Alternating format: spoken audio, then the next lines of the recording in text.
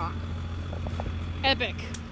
Hey guys, what is up? Today I am going to be starting a new series where I try different things from the DQ menu item that I haven't tried before. Here with me today is my bud Miles. Yep. And today I'm going to be trying a cotton candy dipped cone. Um, before I've had some very weird stuff here.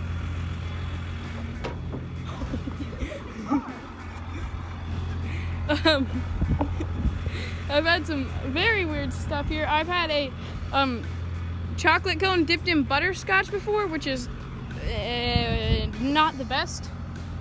So I'm excited to see if I can find something new that I like. Guys, we are now in the line and it's terrible. really long. Like really long.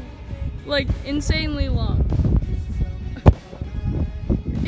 Crazy. Like this might be a good another like 10 minutes before we can order, maybe 15. It's, it's gonna be crazy.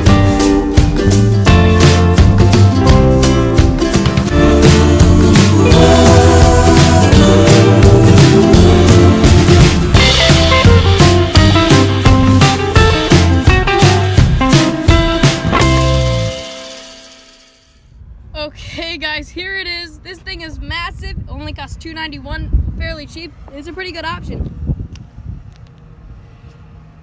And man, that's good.